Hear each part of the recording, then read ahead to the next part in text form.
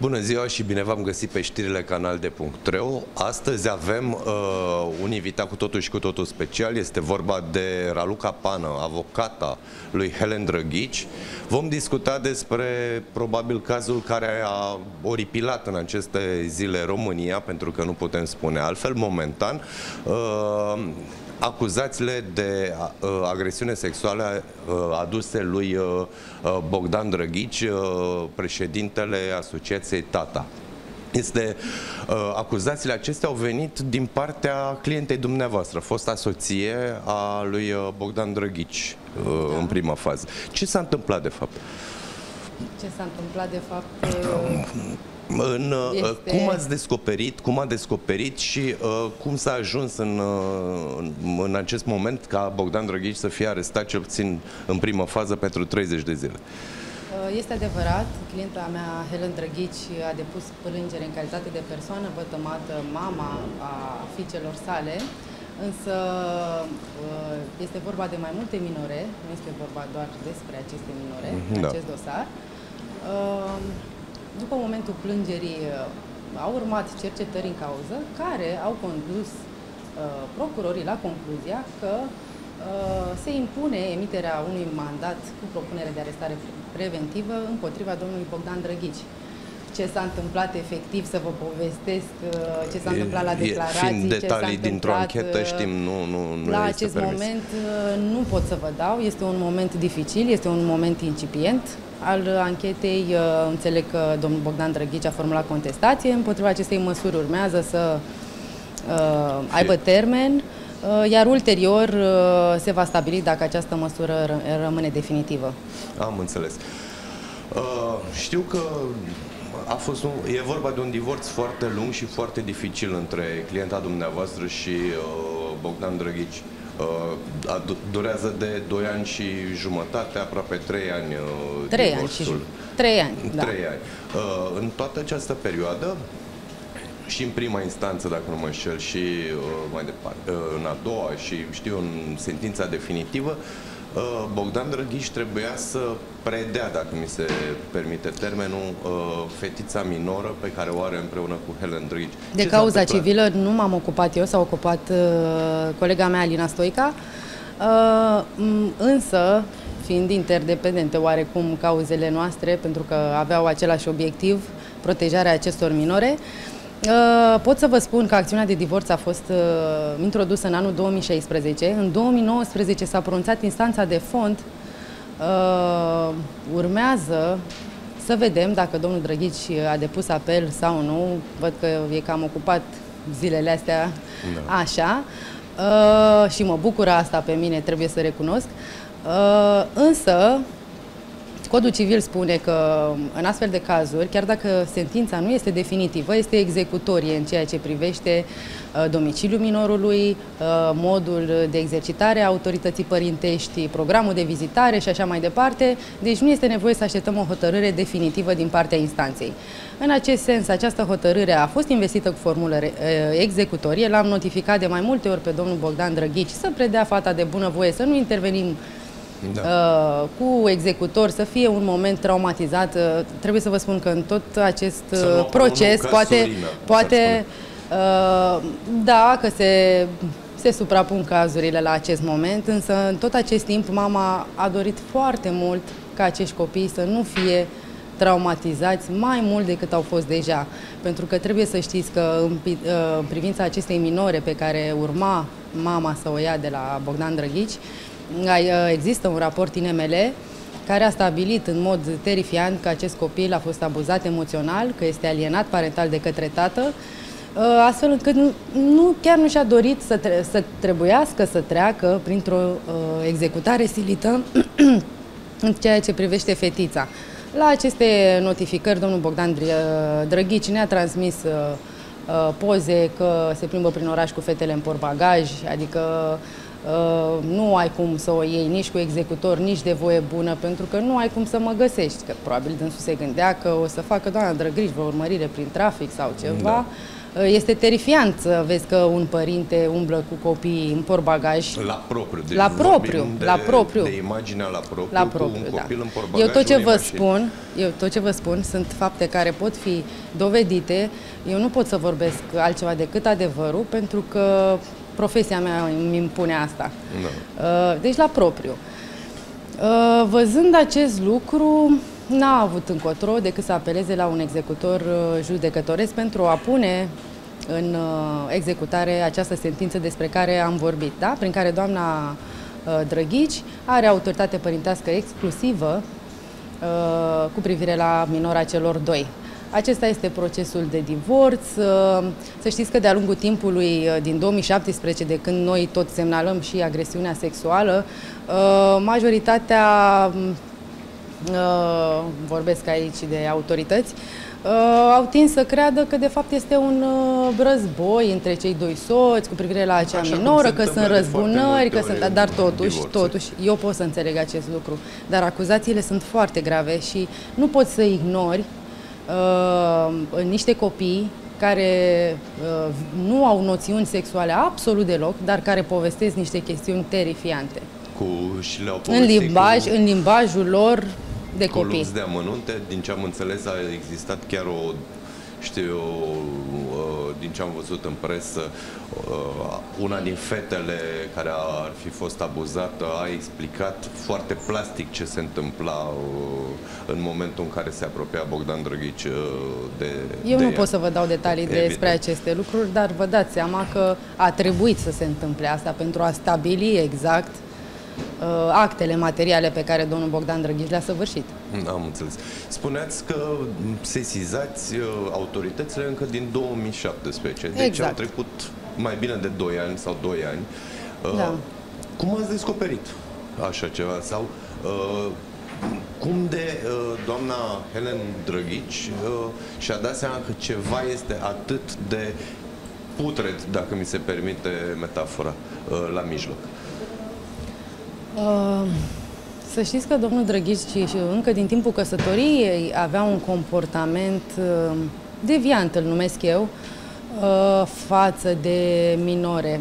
Adică a trecut prin mai multe etape. Nu puteai să te gândești din prima la agresiune păi, sexuală. Nu te poți gândi când e vorba de un Exact. părinte. În prima instanță, acesta, în timpul liber al fetelor, Uh, timpul lor liber era ocupat 100% de pregătiri la matematică pentru olimpiade extrașcolare. Nu se întâmpla să facă teme pentru școală pentru că fetele sunt foarte deștepte și rezolvau această problemă imediat, însă domnul Drăghiș vrea mai mult de la aceste fete, ceea ce este normal.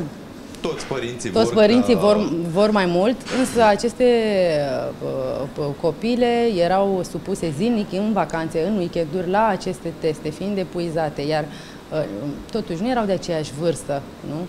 Uh, uh, la un moment dat, cea mai mică sau, eu știu, obosea sau nu mai putea. E, în acel moment era pedepsită. Practic de aici au început conflictele. Doamna Drăghiș fiind singura întreținătoare a familiei, dacă avea da. un loc de muncă, Domnul Drăghici nu a avut niciodată un loc de muncă, deși dânsul susține că a întreținut familia prin uh, aceste consultații uh, pe care le-a acordat taților da, în cadrul da. asociației Tata. Uh, Ehm, acest lucru poate fi verificat. Vom vedea câte cazuri a avut, ce da. încasări a avut în exact. cazul în care le-a declarat. Eu vă spun Aici că dacă mergem la... chestiune contabilă care, care poate, poate fi...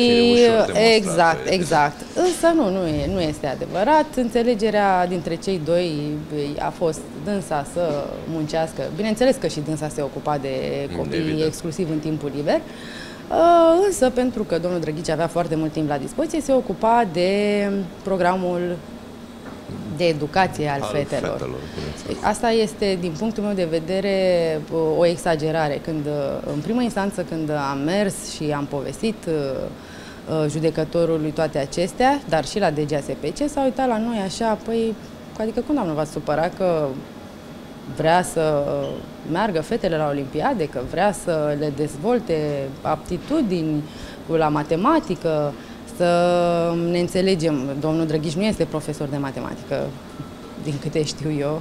Știu că este detectiv, știu că este jurist, dar n-am auzit să fie și profesor de matematică. Da? Mă rog, ăsta n-ar fi un aspect, însă vorbim de ceva exagerat. Fetele tot timpul erau pedepsite în camerele lor. Dacă nu, lucrau la aceste exerciții la matematică. Aici, de aici conflictele între cei doi soți.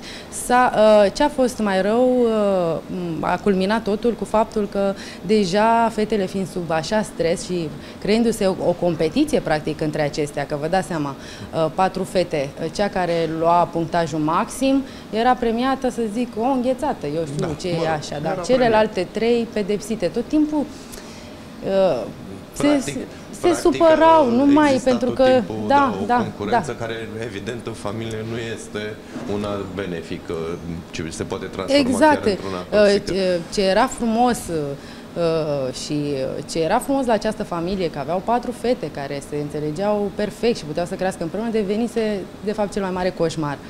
Și uh, aici a hotărât doamna Helen să pună punct și să, să se desparte de domnul Drăghici a fost uh, practic uh, un punct foarte important pentru că din acest moment domnul Drăghici uh, nu a făcut decât să arate această obsesie față de aceste fetițe, din punctul meu de vedere, mai mult decât ar însemna o iubire de tată pentru un copil. Și pot să-mi exprim acest punct de vedere pentru că toate faptele și actele dânsului de până în prezent au dovedit asta, inclusiv uh, Uh, raportul INML prin care s-a stabilit că și-a alienat parental propriul copil. Să, să definim un pic asta pentru da. cei care se Da, eu vor... Uh, poate nu, nu înțeleg termenul de alienare Alienare parentală, parentală uh, înseamnă exercitarea unui uh, abuz emoțional, psihoemoțional asupra unui copil, astfel încât copilul nu mai are propriile idei, ci sunt cele induse de către părintele, părintele care... Și aici și voiam să ajungem. Uh, minora, da. fetița minoră a lui Bogdan Drăghici cu Helen Drăghici da. este în situația de alienare parentală este, din ce am, despre ea vorbim, din ce am da. înțeles. Cum se manifesta față de mama ei atunci când a văzut-o, nu ieri, nu mă refer la ziua de ieri, o să discutăm și la de ziua de ieri. Înainte, când a văzut-o ultima oară, bănuiesc că... Bănuiesc tot că timpul, steți. în tot acest timp, da. Uh... Spunea că o urăște, că și Nu, nu spunea mama. că îi urăște. Repeta în continuu ceea ce îi spunea domnul Bogdan Drăghi să zică. Uh, spune când îți dă procură să schimbi școala, pentru că el tot timpul Uh, profesorii nu erau buni la școală. Fata lui cea mare, până în clasa 8 a schimbat patru școli. Cam uh, multe, uh, Acum e decizia părintelui, da. dar uh, cum apărea mama fetiței, da, în fața fetiței, nu, nu apărea chiar în fața fetiței, mergea la poartă, nu îi se deschidea poarta. Din ușă, tatăl îi spunea fetei ce cuvinte să-i adreseze mamei. Asta nu Practic e... îi șoptea, spune-i să plece. Spune nu șoptea, să... îi spunea tare. Auzea da. toată lumea, au auzit și cei de la DGASPC sector 5, în sensul acesta au întocmit un raport, raport de monitorizare, de legături uh, dintre uh, mamă și fică, au consemnat toate aceste aspecte. Copilul a fost întrebat uh, de ce nu vrei să mergi la mama ta? Pentru că mama face scandal, a zis copilul. Mm. Ce înțelegi prin scandal? Ce înseamnă scandal? Nu știa.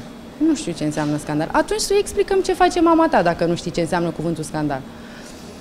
Uh, păi, vine mereu la poartă, tot timpul vrea să mă vadă, adică acțiuni da, normale. Da. Mai mult, uh, Bogdan Drăghici, toate aceste acțiuni pe care noi le depuneam în instanță, uh, toate probele care erau administrate în instanță, inclusiv declarații martori, le registra în timpul ședințelor și acasă, el le dădea să le asculte minorei sau îi dădea să, cite, să citească, să lectureze toate acestea, spunând că e normal așa pentru că fetița este secretara lui și că fetița decide pentru viața ei și uite mami ce vrea să facă în instanță. Fetița vă dați seama că eu nu cred că înțelegea la 9 ani evident, din acele hârtii, pentru că fetița îi reproșea mamei, bine, mă rog, tatăl îi indica ce reproșuri da. să facă, se vedea cum îi căuta privirea fetița ca să spună exact ce vrea tatăl. Să nu greșească. Să nu greșească, da.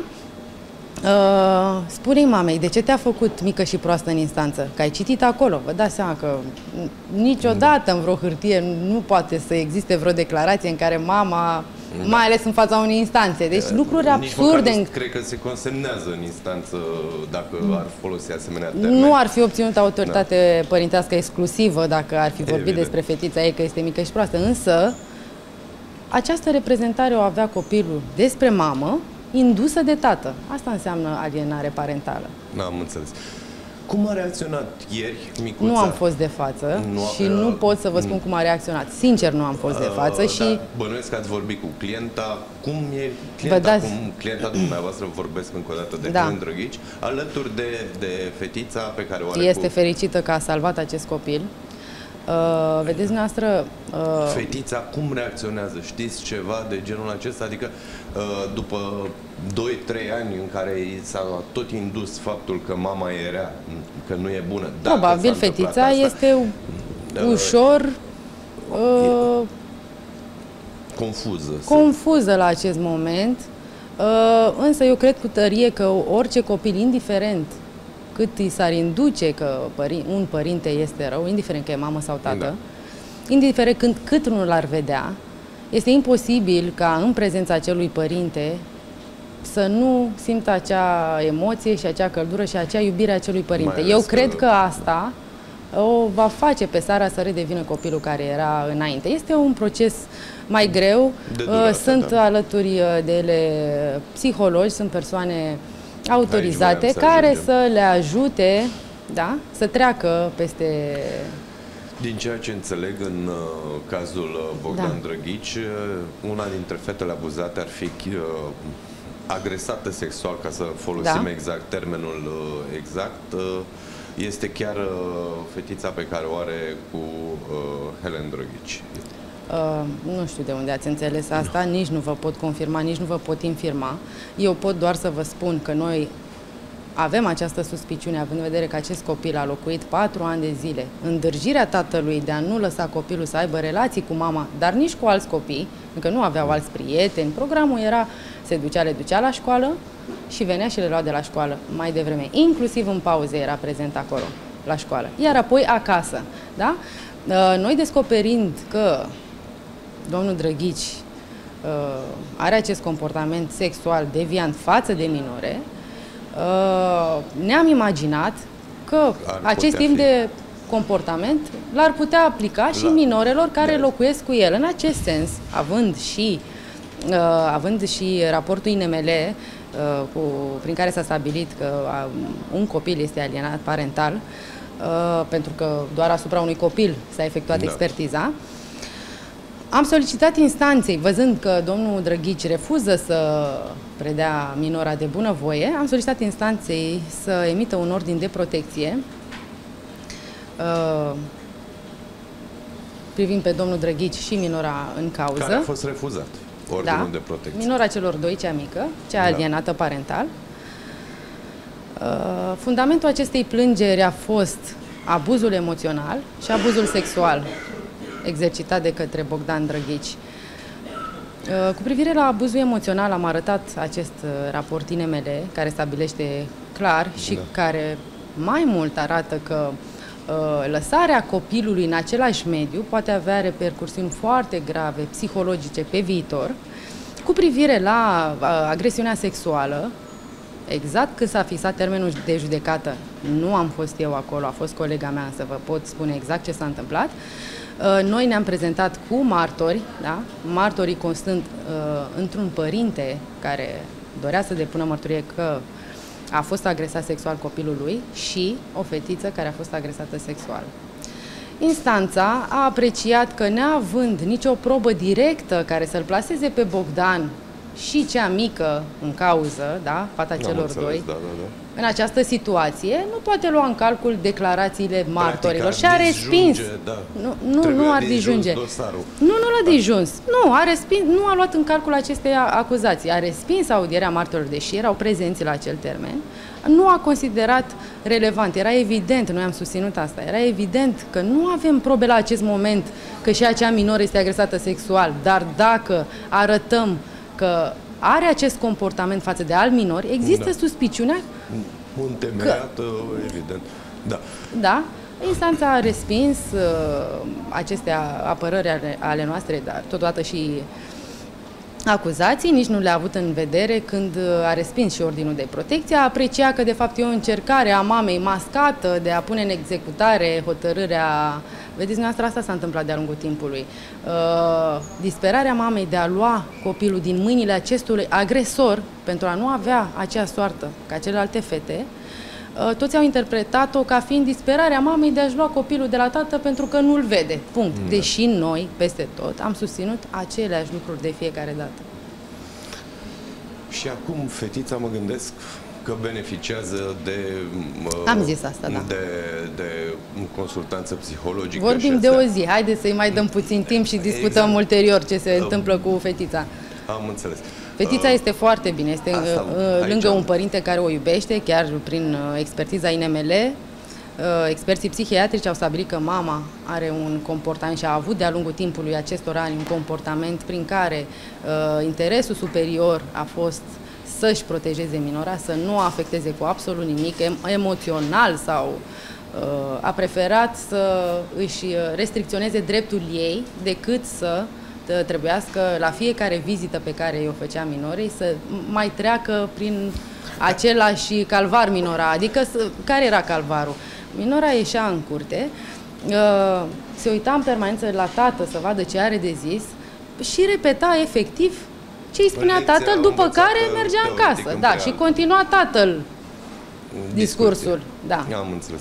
Dar cu toate acestea, instanțele de-a lungul timpului da. uh, i-au dat dreptul de a, uh, de a uh, din, din căsătoria anterioară, din ceea ce știu eu, dreptul de a custodiei fetelor, uh, uh fetelor sale. Deci până atunci nu se descoperă. A fost considerat un tată bun teoretic.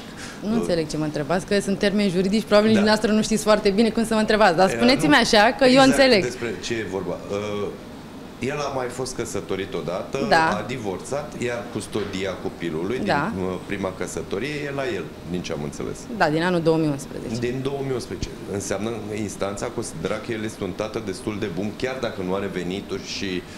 Uh... Nu, acolo a fost o cu totul și cu toată altă situație, de fapt el de-aia și înființat alianța tata, pentru a putea obține custodia acestui copil, prefer să mă abțin, cunosc detalii, însă nu este un dosar despre care eu m-am ocupat, nu am acordul mamei acelei fetițe să pot să dezvălui aceste lucruri. E adevărat, probabil că în ochii telespectatorilor acum, da, da, obținut custodia unui copil. Dacă o instanță i-a acordat custodia, înseamnă că l-a apreciat ca fiind vreme. apt să poată să aibă, să știți că sunt mai multe aspecte care se iau în vedere când uh, se stabilește domiciliul copilului. Uh, la acest moment nici măcar, legea s-a modificat, nici măcar mai vorbim de custodie, autoritate părintească au absolut toți părinții care divorțează, Uh, deci nu mai există, ne despărțim, uh, eu o să am custodia copilului. Nu, noi amândoi vom avea autoritate părintească asupra copilului. Diferența o face că domiciliul copilului va fi la mine sau la tine. În schimb, având această autoritate părintească, zic pentru telespectatori că poate e important să știe, practic ambii, deci, ambii părinți decid cu privire la soarta copilului unde îl înscriu la școală. Nu se poate să înscrii copilul la o școală fără ca celălalt părinte să fie de acord să vină să semneze. Uh, și așa mai departe, medic de familie și atunci uh, cumva s-au uh, liniștit lucrurile pe această parte, că era foarte mare discuție în acea perioadă cu această custodie, cine are custodia, cum o are și așa mai departe. Eu nu știu dacă domnul Dreșcă, nu am văzut actele, a obținut la nivelul anului 2011 custodie. Nu știu ce a obținut, cert este că minora a revenit de la mamă la domiciliul lui și de atunci a locuit împreună cu soții drăghiți și celelalte fete, iar ulterior, după separare, exclusiv cu tatăl. Ați vorbit cu clienta dumneavoastră, s-a gândit, acum Bogdan Drăghici fiind arestat, dacă să ia și restul fetelor pe care... Uh, adică o fată. O fată. Deci să o ia pe fata Da, bineînțeles cealaltă. că o să ia. Ele sunt patru surori, ele așa vorbesc una despre alta, că suntem surori. Uh, probabil că împreună cu mama fetei vor găsi o soluție ca fetele împreună, așa cum se consideră ele și cum țin una la alta, fiind surori, să treacă peste acest uh, moment. În acest moment, uh, cealaltă fată, de, cea despre care vorbeam, este acasă la Vreți să mă întrebați unde Am... e cealaltă fată a domnului Drăghici? Păi, Sincer, păi, nu am avut timp să mă gândesc la aceste aspecte, m-am gândit la... Uh, la da, ce mă interesează la, la, pe mine, la, la momentul da. juridic în care, uh, procesual în care se află uh, dosarul în acest moment. Uh, înainte de a face acele știu eu, uh, întâmpinări, în uh, acele, Așa. Nu, nu întâmpinări, să le formulăm, uh, să, proceduri pentru a recupera copilul. Ați încercat să discutați cu Bogdan Drăghici pe calea amiabilă, ca să spun așa, pentru a duce Cu fata? domnul Bogdan Drăghici nu se putea discuta pe calea amiabilă. Domnul Bogdan Drăghici trimitea mesaje interminabile, cu articole din lege, cu jigniri la adresa mamei, la adresa vieții, așa. Uh, telefonic nu se putea discuta cu dânsul, mama îi transmitea mesajele tot prin intermediul telefonului, mesaje la care primea răspuns aceleași Aceleași povești avea Povești, da, da, da, da, pe care le mai schimba în funcție de situație. În schimb, așa cum v-am mai spus, l-am notificat, i-am trimis notificare. Notificarea a primit-o pentru că ne-a pozat-o și ne-a trimis-o. Nu vă spun cum, că așa, da. Dar uh, l-am notificat că la data, nu mai țin minte exact, 6 iunie sau iulie, nu știu, vom prezenta și așa mai departe. Bineînțeles, n-a fost am înțeles. Deci, practic, nu era și fost... ignorat de-a lungul... A ignorat? Chiar dacă, da, da, chiar dacă știți... le-a semnat, a luat la cunoștință. Da, da, da, cum... să știți că el a ignorat uh, absolut orice, nu numai pe noi, chiar și autoritățile. A fost amendat de instanță de mai multe ori pentru că nu se prezenta la termene și tergiversa soluționarea dosarului. Tocmai de aceea a durat și trei ani și, da? Un divorț. dosar de divorț pe fond, adică fără cale de atac, da? Uh, bineînțeles, invocat o felul de pretexte. Sunt copii bolnavi, sunt copii plecați la competiții, pentru că în ultima perioadă uh, cam asta a fost scuza domnului Drăghiș, că el e foarte ocupat, se ocupă de copii, că sunt la scrimă și uh, sunt uh, implicate fetele în campionate, trebuie să plece din țară și așa mai departe. Foarte frumos că fetele au uh, urmat aceste cursuri. Păcat că scopul acestor cursuri n-a fost decât uh, interesele ascunse ale domnului Drăghici și nu interesele minorelor, așa apreciez eu. Am înțeles. La poliție, iarăși, se plângeau domnii de acolo că nu, nu vine, la, îl citează, s-au dus cu mandat de aducere, nu deschide ușa, a ignorat pe toată, toată lumea. Cu toate astea, cu toate cred astea... că legea are o soluționare simplă. Intri cu forța, bănuiesc, în, uh, în asemenea cazuri, dacă tot ignoră Uh, nu s-a luat chiar atât de în serios, vă spun. Părerea mea este că nu s-a luat chiar atât de în serios. Credeți că Dați, la INML când a fost s-a stabilit data. L-a ajutat? L-a ajutat foarte mult. Am înțeles. L-a ajutat foarte mult. Pentru că mai multe persoane de-a lungul timpului ne-au spus clar în față că nu vor să aibă de-a face cu el. Nu, po- nu ne pot ajuta pentru că nu vor să aibă de-a face cu el. Le este frică, că este răzbunător, că este procesoman, că este o persoană care ripostează agresiv. Așa ni s-a spus și eu am înțeles, nu poți să obligi pe nimeni să, să te ajute în astfel de situații, însă organele abilitate au această obligație, din păcate sau din fericire. Am înțeles.